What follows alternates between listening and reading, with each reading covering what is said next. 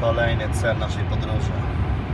Chcemy zobaczyć, jak wygląda fabryka, jedna z kilku na świecie Tesli. Koszt stworzenia tej fabryki to około 20 miliardów złotych. No dobra, dojeżdżamy do fabryki Gigafactory Berlin. Jeszcze 3,5 km. Zobaczymy, czy coś będzie widać. Zjeżdżamy. No, fabryka jest przeogromna. Pracownicy z Polski. Ten cały parking to chyba pracownicy. To... Przed wejściem do fabryki budowlańcy muszą przejść test. No, wiele firm z Polski buduje tutaj fabrykę Tesla. Tak to wygląda z tej strony. No plac budowy cały czas.